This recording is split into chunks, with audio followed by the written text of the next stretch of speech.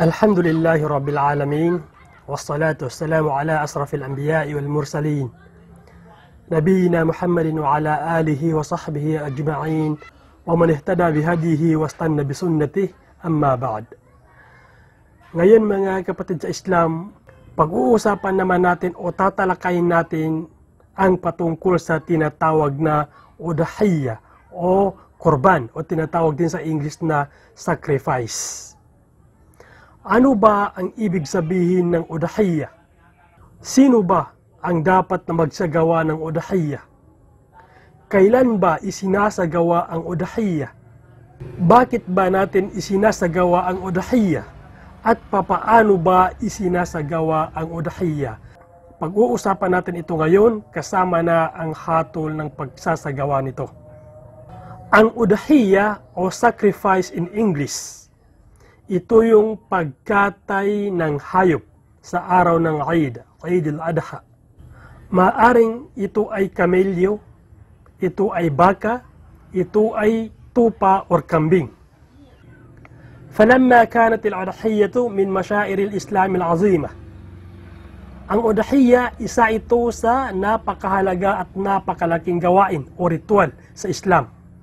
Natadhakkaru fiha tawhidullah wa ni'matihi alayna. At sa udahiyya na ito, nagpapaalala ito sa kaisahan ng Allah subhanahu wa ta'ala. Nagpapaalala ito sa mga biyaya, sa mga blessing, sa mga ni'mah ng Allah subhanahu wa ta'ala na ipinarting o ibinigay niya sa atin. Wa ta'ati abina Ibrahim li Rabbi. At isa rin ito sa pamamaraan upang maalala natin ang mga ginawa ng ating ama na si Ibrahim alayhi salam nung inutusan siya ang kisa na kung saan inutusan siya ng Allah subhanahu wa ta'ala na katayin niya si Ismail alayhi salam na kanyang anak. At sa pagkakataon na yon, hindi niya nakatay si Ismail alayhi salam dahil pinalitan agad ito ni uh, Anghel Jibril or uh, Jibril alayhi salam ng isang tupa. Kaya sa pamamagitan nito, dito natin uh, ma-remember, maalala o ma-recall yung mga kwento ng isa sa ating mga ambiya na si Ibrahim alayhi salam. Maraming kabutihan, maraming mga khairat, maraming mga baraka ang nakukuha natin dito or higit sa lahat ang gantimpala ng Allah subhanahu wa ta'ala. Bali ito ang tinatawag na udahiyya, ang pag-aalay or pagkatay ng hayop, maging ito man ay kamelyo, baka, tupa or kambing para sa Allah subhanahu wa ta'ala. Ngayon, ang katanungan, sino ba ang dapat na mag-alay or magsagawa ng udahiyya o korban? ang mga tao na inatasan na magsagawa ng udahiyya, unang-una siya ay isang Muslim. Siya ay isang Muslim. Ang tao na ito ay mayroong magandang pag-iisip or mabuting pag-iisip, nasa tamang pag-iisip. Ang tao na ito ay nasa tamang gulang.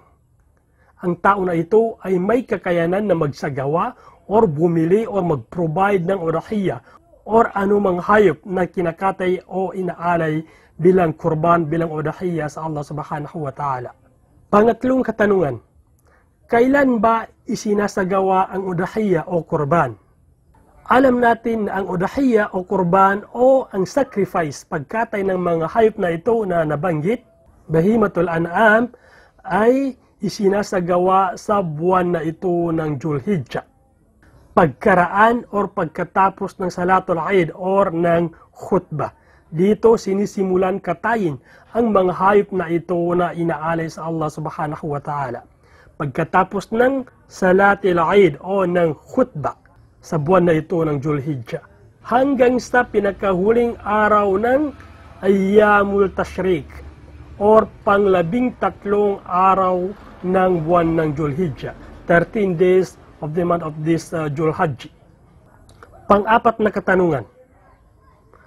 Bakit kailangan natin magsagawa ng udahiyya? Bakit natin kailangan mag-alay?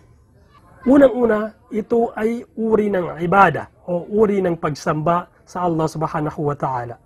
Pangalawa, tulad ng nabanggit natin kanina, bilang or upang maalala natin ang ginawa ni Prophet Ibrahim alayhi salam nung sa panahon na inutusan siya ng Allah subhanahu wa ta'ala nakatayin si Ismail alayhi salam na kanyang anak. Pangatlo ay upang makatulong sa mga mahihirap upang makatulong sa mga nangangailangan dahil ang mga uh, hayop na ito na inaalay ay ibinibigay ang tatlong parte nito sa mga mahihirap o sa mga nangangailangan. Kaya isa ito sa mga kadahilanan kung bakit natin kailangan magsagawa ng udahiya. Higit sa lahat, tulad ng uh, unang nabanggit natin, ang gantimpala ng Allah subhanahu wa ta'ala. Papaano ba magsagawa ng udahiya?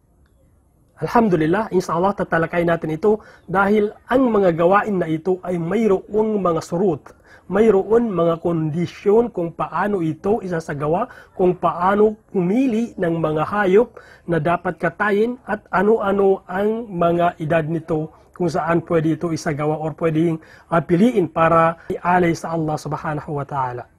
Bali, bago natin tatalakayin ang mga kondisyon ng pagsasagawa ng odahiya ay gusto ko lang ipaalam sa inyo na ang hatol sa pagsasagawa ng odahiya or ng kurban ayon sa majority, ayon sa jumhur ng ating mga ulama, ito ay sunnatun muakkada. Uh, sunna muakkada, isang mabigat na sunna. Although, uh, ang iba sa ating mga imam, sinasabi nila na ito ay wajib, ito ay obligatory, pero ayon sa jumhur, ang hatol ng pagsasagawa ng udahiya ay sunnatun muakkada. Ito ay palagi ang ginagawa ni Prophet Muhammad sallallahu alaihi wasallam. Ito ay isang klaseng sunna na napakabigat. Uh, ang sunna muakkada or muakkida.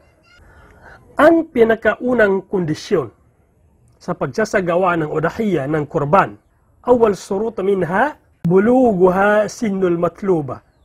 Dapat ang mga hayop na ito na gusto natin uh, gawing kurban ay nasa sapat na gulang. Ang tanong, ano ba ang edad o gulang ng mga hayop na ito na dapat katayin? Kapag katupa ang nais natin gawing sacrifice o kurban o odahiya, dapat ang edad nito ay nasa anim na buwan kapag katupa. Kapag kakambing naman, dapat ang gulang ng kambing na gusto natin gawing kurban or udahiyya ay nasa isang taong gulang kapag kambing. Kapag baka naman, ang gusto nating uh, ialay or gawing kurban, dapat ito ay nasa dalawang taong gulang kapag baka. Kapag kamelyo naman, dapat ang edad nito or gulang nito ay nasa limang taong gulang. Ang ibang katanungan, ilang katao ba ang sakop ng bawat uh, hayop na gusto nating ialay? Halimbawa, kambing, tupa, uh, baka, or kamelyo. Sa kambing at sa tupa ay good for one person lamang. Ah, ito ay sapat lang sa isang tao kasama na ang kanyang pamilya, kasama na ang kanyang uh, household, may bahay, sa isang kambing or tupa. Sa baka naman at kamelyo, kaya niyang sakupin ang pito katao. Pito katao. Kapag ka ang gawin nating udahiya or sacrifice ay uh, baka at kamelyo. Ito ang kanyang pagkakaiba. Pangalawang kondisyon sa pagpili or pagsasagawa ng udahiya. Salamatuha min al-uyub. Dapat ang mga hayop na ito, ang hayop na ito na napili mong uh, gawing kurban, gawing udahiya or sacrifice ay walang anumang kapansanan. Walang anumang kapansanan. Dahil sinabi ni Prophet Muhammad sallallahu alaihi wasallam sa isa sa kanyang mga sahih na hadith, Arba'u la yajijina min al-adahi. Apat na uri ng hayop ang hindi dapat na gawing sacrifice o hindi dapat na gawing kurban. Sabi ni Prophet Muhammad sallallahu alaihi wasallam. Ano ang una? Al-awra, na ang ibig sabihin nito ay mayroon siyang kapansanan sa mata. Halimbawa, isa lang ang mata ng hayop na ito na gusto mong gawing uh, kurban. Lantaran ang kanyang uh, kapansanan sa mata. Bayin. Uh, ito ang una. Pangalawa, almarida. Lantaran ang kanyang pagkamasakitin. Ah, hindi pwedeng gawing korban o odahiya ang hayop na may kapansanan sa mata or mayroon itong sakit na lantaran, kung baga malubha. Pangatlo, al-arja. Ah, ibig sabihin nito ay ang hayop na ito ay pilay. Ah, pilay, lantaran ang kanyang ah, pagiging pilay. Hindi rin itong pwedeng gawing odahiya ah, ang ganitong klaseng hayop na kung saan halimbawa putol ang kanyang paa, napilay ang kanyang paa, or uh, ano pa mang uh, kapansanan na nabanggit dito. Pang-apat na hayop na kung saan pinagbawal ng Prophet sallallahu alaihi wasallam na gawing kurban ay al-ajfa. Ang ibig sabihin nito ay isang hayop na sobrang payatot. Wala ka ng uh, anumang uh, masagap na laman sa kanyang katawan dahil puro buto na ito. Kaya hindi ito pwede. So ito yung apat na pinagbawal uh, ni Prophet Muhammad sallallahu alaihi wasallam na gawing udahiyya o gawing uh, sacrifice mula sa mga hayop na gusto mong ialay. Maliban dito, sabi ng ating mga ulama, halimbawa, kung ang kanyang uh, diferensya uh, kulang sa tainga or ano pa man na hindi nabanggit dito sa hadith, ito ay magkru ayon sa ating mga ulama. Pangatlong kondisyon sa pagsasagawa ng udahiyya. Hurrimat bay'aha. Bawal ito ibenta. Halimbawa, kapag ang isang hayop ay naituro mo na, na pagdesisyonan mo na na ito ay gawin mong kurban. Halimbawa, uh, sinabi mo, ang tupa na ito, ang kambing na ito ay uh, wag niyong gawin dahil ito ang gagawin kong alay. Ito ang gagawin kong urahiya o kurban. Kapag napagtanto mo na ang hayop na ito na kung saan gagamitin mo sa pagsasagawa ng urahiya, haram sa iyo na ito ay ibenta pa. Haram sa iyo na ito ay ibigay pa bilang hadiah or ano paman. Kaya dapat maisagawa o maialay mo ang hayop na yon na kung saan uh, napagtanto mo bilang uh, pag-alay uh, sa korban or udahiyya.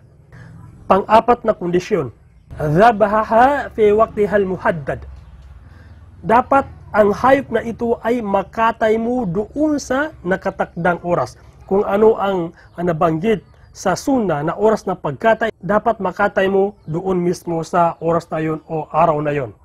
Inuulit ko, ang pagkatay sa udahiya o kurban or sacrifice na hayop ay pagkatapos ng uh, salatil Eid or ng khutbah. At matatapos ito hanggang sa pinakahuling araw ng uh, Yawmul Tasriq o yung paglubog ng uh, araw sa pinakahuling araw nito. Ah, ito ay sa pang 13 days of Julhijjah or Julhajj. Ang huling katanungan, ma yaf'alul udahiyah Kapag nakatay na natin ang hayop na ito na gusto nating, ginusto nating ialay, napili nating uh, gawing kurban, ano ang gagawin natin dito?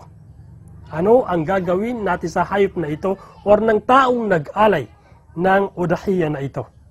Unang-una, sunna sa isang tao na nag-alay ng udahiya na hindi muna siya kakain. Hindi muna siya kakain sa araw na yun, sa araw na yun ng uh, pagkatay uh, hanggat hindi niya natitikman ang kanyang hayop na yun na inalay. Ibig sabihin, mustahab sa kanya na yun ang pinakauna niyang kainin sa araw na yun ng pagkatay. Uh, ang kanyang hayop na uh, isinakripisyo para sa Allah subhanahu wa ta'ala. Dahil ito, sa hadith ni Prophet Muhammad sallallahu alaihi wasallam na sabi niya, la ya'kul kullu rajulin min udahiyati. Marapat na makain muna ng tao na yon ah, ang hayop na kung saan kanyang inalay sa Allah subhanahu wa ta'ala. Kaya sunna na ito muna ang pinakaunang matikman o makain ng tao na ito ang kanyang hayop na inalay bago siya pwedeng kumain ng kahit ano. Bali, ano pa ang gagawin? Pagkatapos makatay ng hayop na yun na inalay mo sa Allah, ng iyong udakhiya, ng iyong korban, hahatiin mo ito sa tatlong hati. Sa tatlong hati. Ang unang hati ay kakainin mo ito at ipapakain mo sa iyong pamilya. Pangalawang hati. Ang pangalawang hati naman ay ibahagi mo ito. Ibigay mo ito sa iyong mga kaibigan, sa iyong mga kapitbahay, ha? sa iyong mga office mate at uh, iba pa. Pangatlong hati, ibigay mo ito sa mga taong mahihirap o sa mga taong nangangailangan. Bali, inuulit ko tatlong hati para sa iyo at sa iyong pamilya uh, para ito ay inyong kainin i- ibigay mo bilang hadiah sa iyong mga kaibigan, sa iyong mga office mates, sa iyong mga kapitbahay. Pangatlong hati ay ibigay mo sa mga taong mahihirap o sa mga taong nangangailangan kahit na ito man ay hindi mo kapitbahay o hindi mo kakilala. At ah, bilang panghuli, bilang paalala, si Prophet Muhammad sallallahu alaihi wasallam ay ipinagbawal niya ang pagkupit or pagputol ng buhok. Ano mang buhok? Buhok sa kilikili, buhok sa mga uh, maselang bahagi ng katawan, buhok sa ulo, at sa kuko. Ha? Exclusive sa taong nag-aalay ng udahiya, nag-aalay ng korban. Kapag ang isang tao ay nagniya or nag-intensyon na magsagawa o mag-provide ng udahiya, uh, pagpasok mismo ng unang araw ng Julhijjah o ng Julhajji ay bawal na sa kanya na magpaputol, magbunot ng buhok or ng kuko. Ah, hanggat hindi niya nakakatay ang ah, hayop na yun na gusto niyang gawing korban. Bali, ito ang munting pagpapaliwanag natin patungkol sa udahiyya. Kung mayroon man kayong katanungan patungkol sa hatol nito at iba pang uh, mga concern regarding dito sa masala na ito, mag-comment lang po kayo sa baba at uh, sasagutin natin inshallah. Hulit-huli, huwag nyo rin kalimutan na mag-subscribe sa ating uh, YouTube channel na ito para maging updated kayo sa lahat ng ating mga masala na darating pa inshallah. Wa sallallahu ala nabiyina Muhammad وعلى آله وصحبه أجمعين وآخر دعوانا أن الحمد لله رب العالمين. السلام عليكم ورحمة الله وبركاته.